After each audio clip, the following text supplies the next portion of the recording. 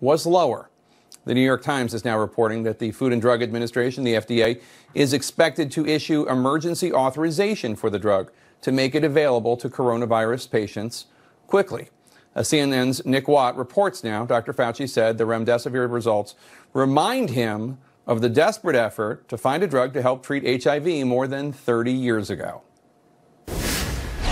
What it has proven is that a drug can block this virus.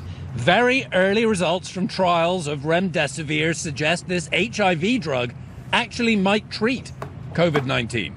The data shows that remdesivir has a clear cut, significant positive effect in diminishing the time to recovery.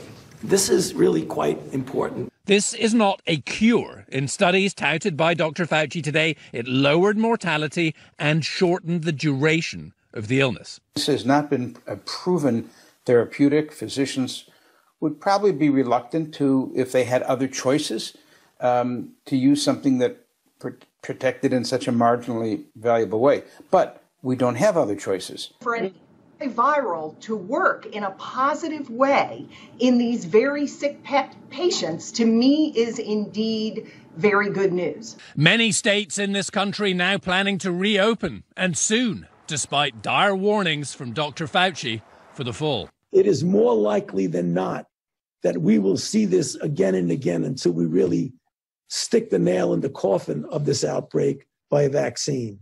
Pfizer now says it will begin testing one in the US shortly and claims it could supply millions by the end of the year.